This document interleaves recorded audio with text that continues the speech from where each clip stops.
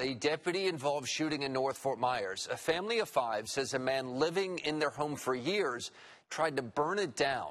This happened on Sunday on Travis Avenue. When deputies got to the scene, 53-year-old Jose Estevez was waving a knife and charged at deputies. That is why a deputy shot him. Estevez is now in the hospital. NBC2's Trent Bennett is live at the home speaking with the family. Yeah, Peter, that's right. Before we take you inside and show you this room, we do want to remind you that we did get permission from the family who lives in this home to do so. So that being said, let's show you what this room looks like today. This is the room where Lee County deputies say Estevez tried to light this entire home on fire. That shared wall up here, the other side there, a family of five lives. They tell me they smelled smoke, they heard noises, and they tried to get out of the burning home. That's whenever in the driveway they came face to face with the man who'd been living in this room for years right next to them, and they tell me he had a knife. It was Sunday morning around 4:30.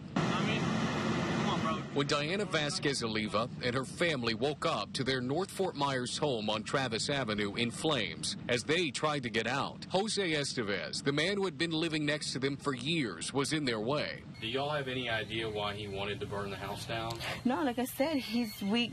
They get along with him perfectly fine. They have never had anything like this happen. Sheriff Carmine Marceno says deputies arrived at that moment. At which point in time, our suspect charges our deputy with deadly force with that knife. Deputies fired a taser and a gun hitting Estevez. You, you could tell there was something wasn't right with him.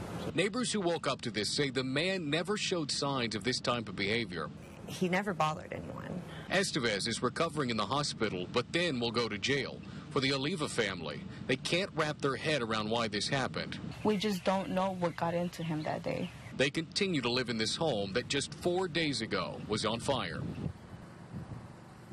Yeah, and getting to that, the Oliva family says, well, they're home. It's almost unlivable. I just standing here next to the window where this fire took place. It smells like smoke.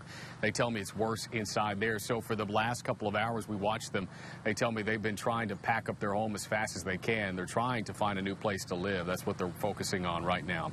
We're live and local in North Fort Myers. Trent Bennett, NBC2.